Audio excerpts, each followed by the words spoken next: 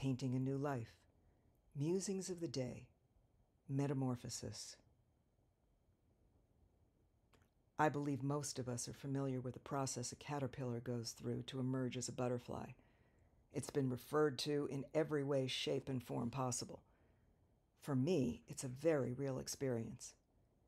A caterpillar doesn't know it's a caterpillar.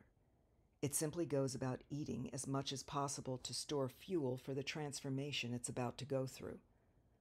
I've done something similar in my life, consuming as much life experience as possible and feeding myself with all of it so that when it was time to cocoon, I would have all of that to draw upon. In the cocoon, the caterpillar begins to eat itself alive turning its caterpillar form into a mush like state. It's a state of being nothing in particular on its way to becoming who it was meant to be. Like the caterpillar, I've had to cocoon for a very long time, not being one thing or another. The difference is that as a human, I've had to pretend to be something because in our culture, being something is the only acceptable identity to have. People will ask you what you do, who you are, and if you say you don't know, well, that just makes you sound even worse than nothing. How can you be an adult and not know who you are? Looking back over the last 20 years or so, it's apparent that I've been in that state without identifying it as such. I left a hardcore identity as a bodybuilder, trainer, and coach, not knowing what was next. Though I clung to shreds of that identity for far too long, it's clear in retrospect that it was the clinging that made it all last so terribly long.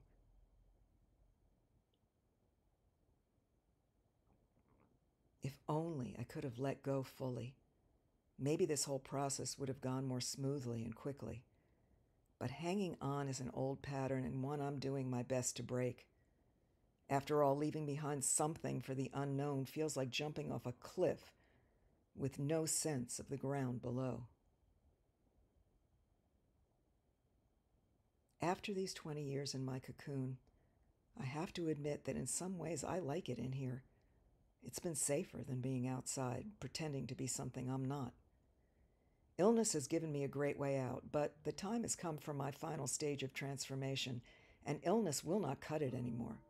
There are no more excuses, and I no longer feel more comfortable in here. I feel suffocated. My mushy self is beginning to take form, and there isn't enough room in here for me anymore. I'm bursting at the seams.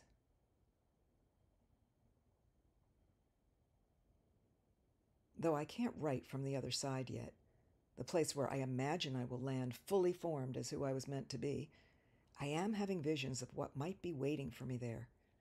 I feel my energy surging at times and my fires being stoked. There are times when I feel almost giddy with these newfound bits of me that are forming.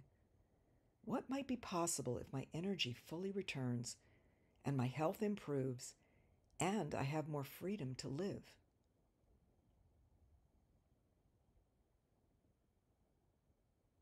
The transformation is taking place at a rate that can no longer be stopped or even slowed. It's like a runaway train, and not in a bad way.